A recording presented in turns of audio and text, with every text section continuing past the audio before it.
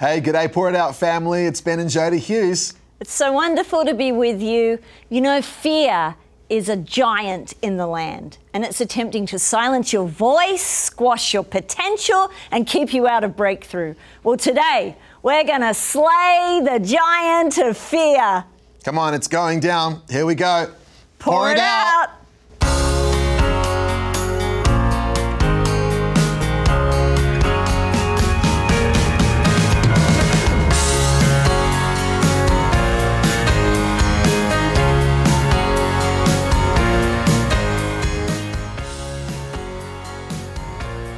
Hey, family, welcome to Pour It Out with Ben and Jodie Hughes.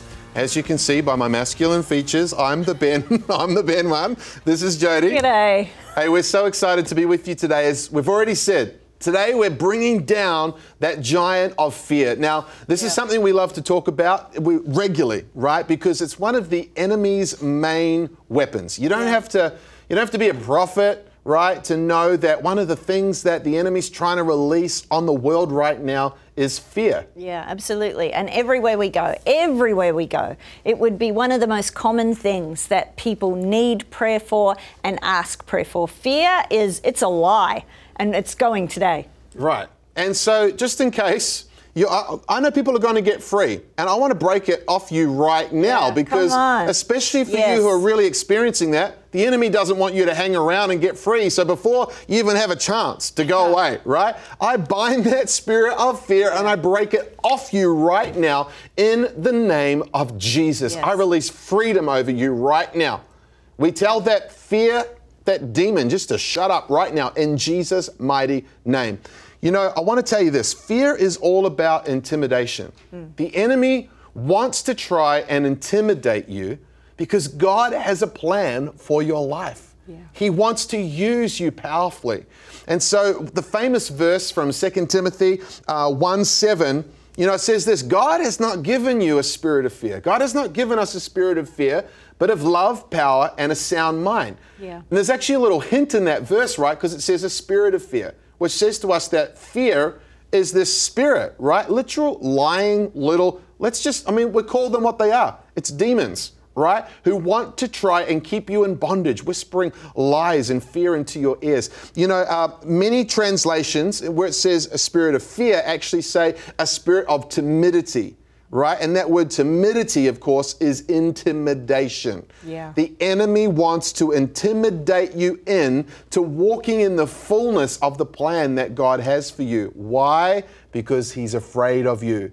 The enemy is afraid of you. Wow. He sends a spirit of fear to you because he's afraid of you. Come on. Did you hear that? And so if he can keep you under this intimidation, he's going to he wants to try and silence you. He wants to stop you from stepping out in faith. Why? Because he's afraid of you, my friend. Yeah, well, on the other side of your breakthrough is always the breakthrough of many other people. So, this completely makes sense that the only way to keep not just you out of your breakthrough, but all the other people around you that are going to come into fresh breakthrough is to keep you so scared and fearful that you don't walk in the breakthrough that God is giving you. Right. So true. You know, often where there's fear, it's because we're actually under the influence of a lie, right? And usually that lie is either something to do with who God is or who we are. Yeah. Wow. I, I, I, I'm going to keep talking, but I, I know right now people are getting free. People are getting free. I can feel weight and chains just breaking off people right now, right now. And I want you just to stick with us. I know there's temptation to kind of to get off this and, and, and do something else, but I want to tell you, if you stick with us, I know you're going to get free. In fact, uh, on this, on Pour It Out with Ben and Jodie, we've actually talked about fear before, right? And we actually got a- an email from a pastor in Malaysia. And he says, you know, for many years he had been under this, this spirit of fear. And it actually was prohibiting his life, his call, his Yeah. ministry. And while we were praying on this show, suddenly in Yeah. Malaysia, he got delivered from that. He, he, he actually let out a bit of a scream because this is deliverance, demons breaking off him, the spirit of fear. And his wife came running in and he told us, you know what? He's been different ever since. Wow. So much so that he wanted to send us an email. And, and this is a pastor. So there's no shame, guys. There's no condemnation. We're doing this because you need to be set free. Jesus come came to set us free, right? Yeah. So there's no point hanging on to these things that the enemy's put on us. You're getting free today. Yeah. So I want to come back to this. Often we're under a lie. We're under the influence of a lie. And often that's about who God is, right? It says things like this that God is not able, right? God is not able in my situation to take care of me or provide for me or deliver me or Yeah. heal me. That's such a lie of the enemy. Yeah, and it keeps us entrapped, keeps us trapped in the lie. Right. And so we come under this fear. So sometimes it's worth actually just taking stock, right? And thinking, well, I have I have fear in this situation. Why do I have fear? What is the lie that I'm believing? Yeah. And like I said, often it's this that God is not able. Another lie is that God is not willing, that God is not willing or that he doesn't want to. I want to tell you, isn't the enemy cunning? Right? He'd love to, you to think that God's not willing to set you free. Are you kidding me? He sent his only son to come and die on a cross, right? For you, so that you could be free. And who the Son sets free is free indeed. Wow. Right? God wants to set you free. He wants to deliver you. You know, we need to remember this sometimes when we're thinking about the will of God. We think about this is actually what Jesus did. He came and he paid this terrible price Yeah. for us so that we could be healed, so that we could be whole. Over and over, Jesus says, Hey, I want to I want to tell you about the Father. Yeah. I want to tell you about the Father. And one of those things, of course, is provision. A great area of fear is that, you know, we're not going to be able to pay the bills and we're not going to be able to take care of our, our families, hmm. right? It's one of the most common lies and it's a place for fear to come in. But Jesus actually says himself, he says, guys, don't worry about your life. And he reveals the Father to us, that he's our provider and that he is a good Father. And once again, he says, hey, consider the birds of the air, right? They don't store up and etc. etc. And yet the Father feeds them. He takes care of them. He says, look at the flowers in the fields. They just it, this just gets thrown into the fire. The grass gets cut, burnt, thrown into the fire, and yet He clothes the fields with flowers. How much more? How much more? Th- Jesus tells us these stories, guys, so because He reveals the nature and the truth of the Father, right? Hmm. And then He says this that the Bible says this that perfect love casts out all fear. So, one of the greatest keys actually to being free from this fear is understanding the perfect love of God that He has for us. Yeah. As we're talking about this, I'm sensing some of you even right now because when we talk about fear, often there's an agitation that rises up in people's spirits. There's a scaredness. A sense of I've got to get out, I've got to run away. I don't need to listen to this. A sense of wanting to leave, you know, put down your phone or however you're listening to this and walk out of the room. Stop listening is what you feel like right now. If that's you, I'm speaking to you right now because God sees you and He knows what's going on and He's freeing you from the giant of fear right now. And so before we go any further, again, we're saying it because there is power as we decree truth. I speak to that spirit of fear and I say, get off and get out and stop lying to our family right now. We tell fear to go in the mighty name of Jesus. Agitation, go in the mighty name of Jesus. And that sense of feeling like you need to run away from what God is speaking to you, we break that lie right now and we say that there is peace in the name of Jesus and that there's a future that is good for you, friend. There's a future that's good for you. Wow. Wow, so powerful. So powerful. I know that you're getting free. I know you're getting free today. You know, another one of the lies sometimes has to do with, you know, we trust God, but we don't trust people. Right? We think, yes, I can trust God, but but I have this fear because I can't trust people, and the people are going to let me down. Right? Well, I want to tell you this God is faithful even when people are not faithful. Yeah. Right? Other people's faithfulness does not inhibit God's faithfulness or unfaithfulness, Yeah. right? Doesn't stop the faithfulness of God. And you know, the Lord did this really special thing for us. I remember, you know, we uh, we had somebody tell us that, and this is a simple story, but it illustrates this really well. They told us that God told them to buy us a television, right? This is something obviously very normal, practical. Some years ago, And this is a long time ago, and we had one of those old fat TVs. This wasn't a skinny TV, it was a fat TV, right? It's like about 25 inches. And they said, hey, God told me to buy you a new TV. Well, our daughter was only, what, nine or 10 or something like Yeah. that. And of course, she was really excited. Well, we waited and we waited and we waited, and the TV never came. And of course, our daughter was getting upset, to be honest. I was really looking forward to it too, right? And we're like, okay, this person's let us down. Well, one day we had some friends come. This is months later. We had some friends come and stay with us from America. And they, this was in Australia, right? We lived in Australia then. Yeah.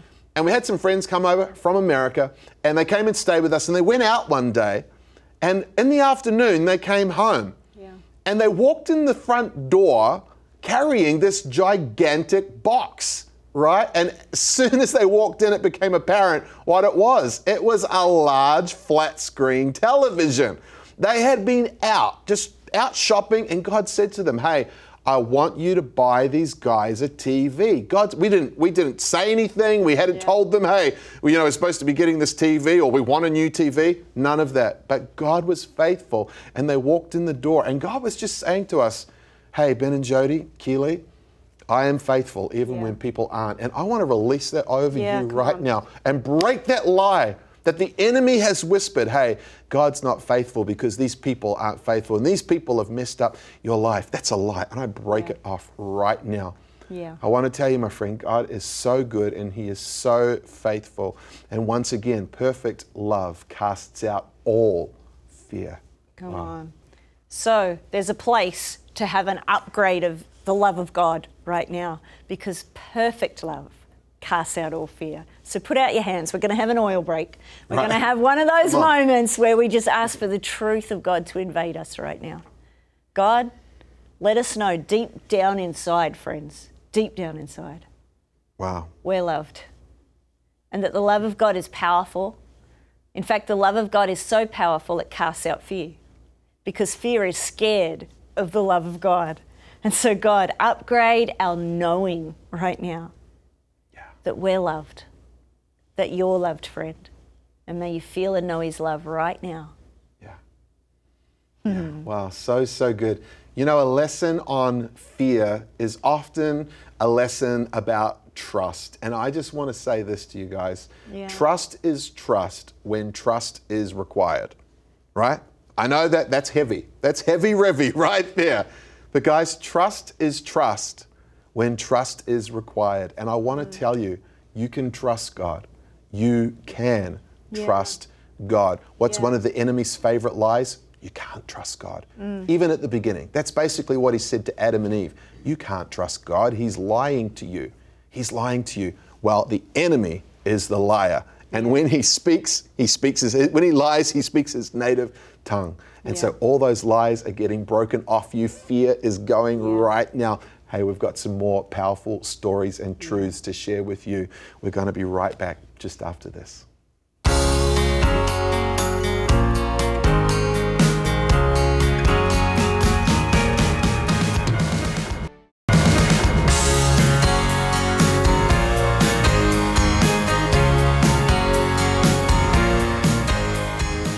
Family. Today we are slaying the giant of fear. And if ever there's a season where we need to slay the giant of fear, I think we've found that season. I think that's fair to say, right? Fear is being broadcast everywhere. You've no doubt been struggling with that. I think everyone has been struggling with fear and struggling with the, the broadcast of the fear that tries to limit. Listen to this. This is some of the things that fear does it limits us, it traps us, it paralyzes us, it confuses, it torments. And many of you have been feeling that foreboding fear, that tormenting fear, even in the night hours, where as soon as you try to relax and go to sleep, a foreboding fear comes over you, that tormenting fear, that stuff that comes at you to trap you and scare you. I break that tormenting fear, that foreboding fear, that assignment of fear right now. And we speak peace over you. We say your night hours will be filled with the presence and peace and joy of God, that you will sleep and rest and your dreams. In fact, that dream life, those of you who are saying, Jodie, but I feel tormented in my dreams, I break that spirit of fear that attacks you in your dreams. I break it off right now. I shut down that portal that's been opened to fear, and I speak into your spirit right now that you will sleep and hear the Lord as you sleep, that you will have dreams from the very presence of God and from the glory realm. Your dreams are going to be impacted by the glory of God. Come on, this is what else that fear does to you. It tries to lie to us. In fact, it doesn't try to lie to us, it does lie to us. Fear is a false prophet and it will speak untruths over you. It prevents your transformation, your character transformation. It intimidates you and it keeps you out of breakthrough. I mean, that's a lot of stuff and there's more. But I want to say this to you fear is a lying prophet. Here's some giant slaying truths for you, friend, to grab a hold of. We've already talked about 2 Timothy 1 7. For God has not given you a spirit of fear, but of power, of love, and of a sound mind. That means that if there's confusion on you, if you haven't been able to think straight, right? Probably fear's been having a field day with your thinking. Just tell it to go right now in the name of Jesus. In the name of Jesus, all that confusion, that swirliness, that foggy head, that inability to hear and think straight, we tell it to go in the mighty name of Jesus. Amen. Here's another giant slaying truth for you. Fear is a spirit, but it's not the Holy Spirit. And so once we've evicted fear, Let's welcome in the presence of the Holy Spirit. In fact, let's do it right now. Yeah. Because when we're talking about fear, when we're evicting fear, we need His presence.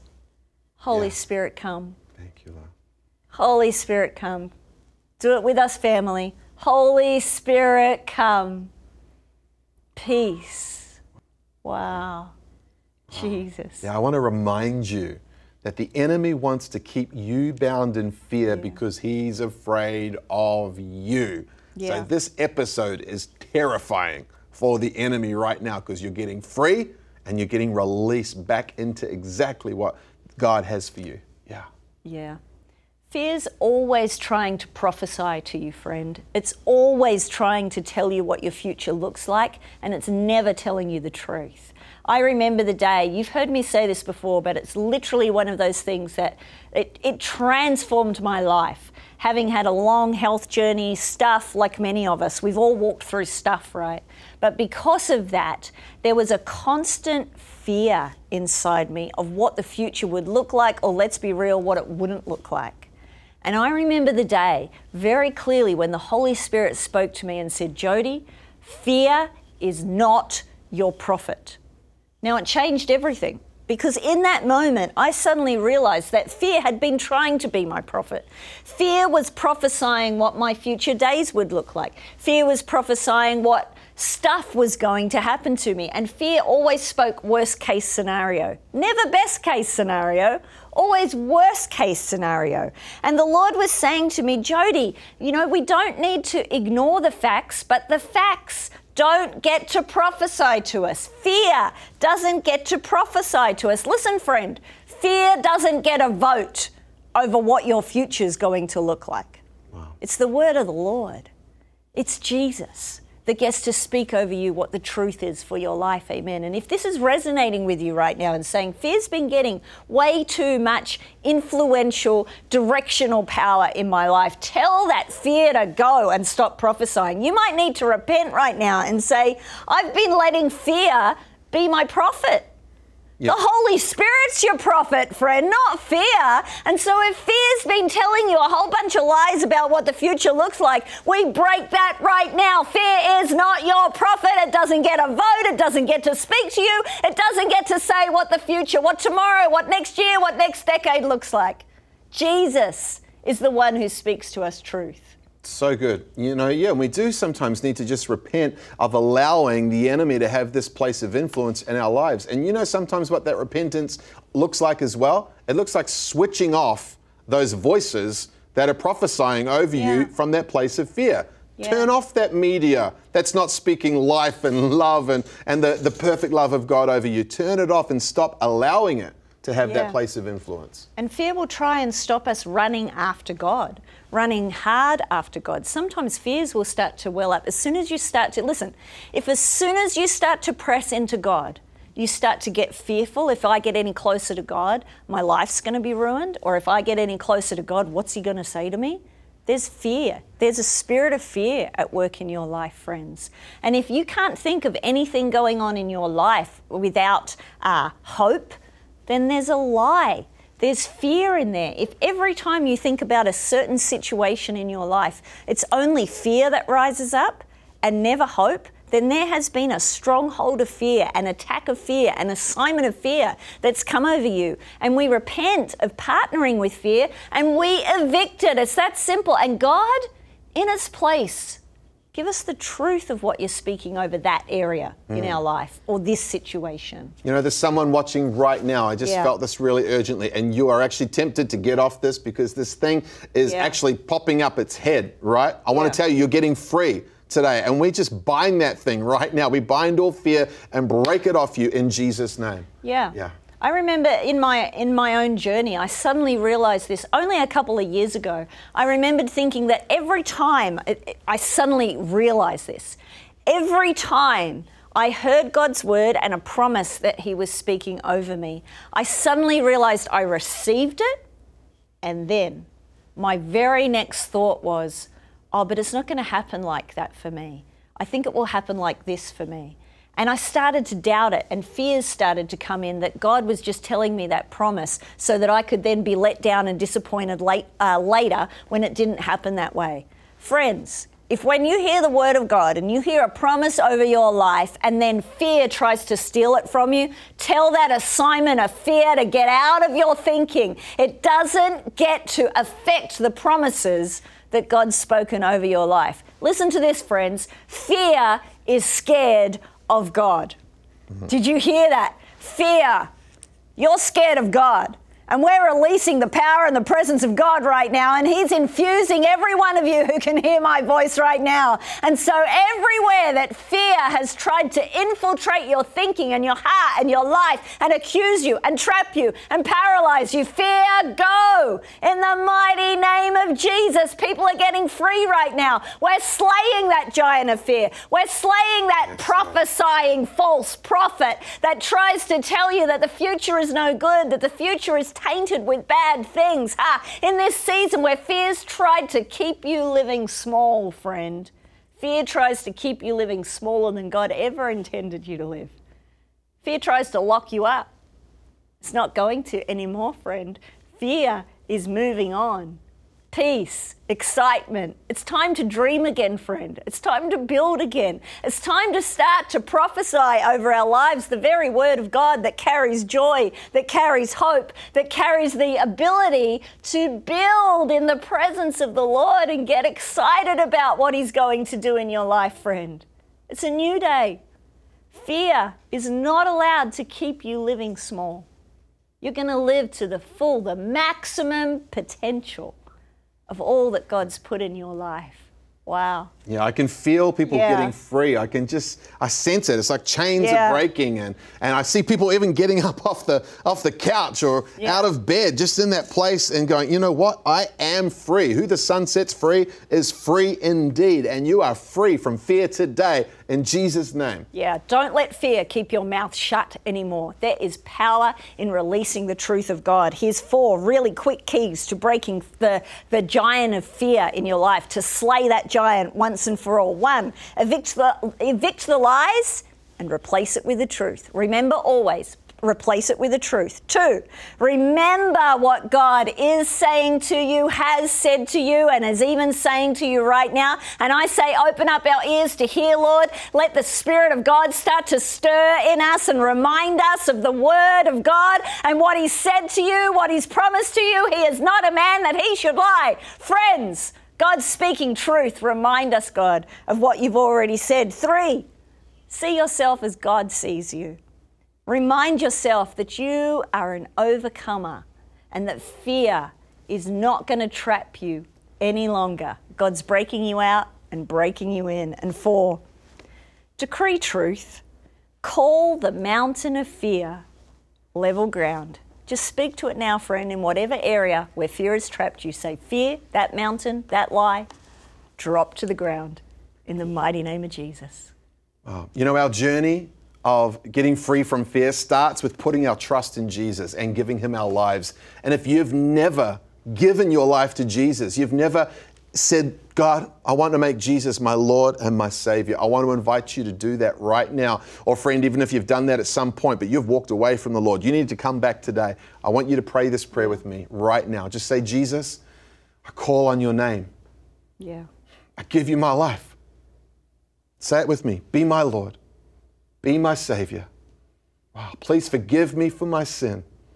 And I receive your forgiveness right now. Yeah. And say this I choose to trust you, Jesus. Yeah. And I evict all fear from my life in Jesus' mighty name. Wow. Amen. Wow. Friend, if you just prayed that prayer with us, we want to hear from you. Go to our website, send us a message. We'd love to hear that you just gave your life to Jesus. Wow. Let me pray this verse over you Psalm 34 4. I prayed to the Lord, and He answered me. He's answering you, friends. He freed me from all my fears. He's freeing you from all your fears. Let us bless you right now. Wow. Wow. And so, friends, yeah, fear is gone. The perfect love of the Father is washing over you today. We love you, Pour It Out family, and we bless you and we release it over you right now. Pour, Pour it, out. out.